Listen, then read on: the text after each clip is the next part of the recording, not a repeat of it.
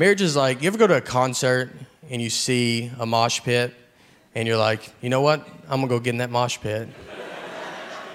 but then once you get in it, you're like, I do not want to be in this mosh pit at all. I am gonna leave and go get some beer. Then the mosh pit's like, didn't you drink last night? All right, mosh pit, why don't you get off my back and let me live my life?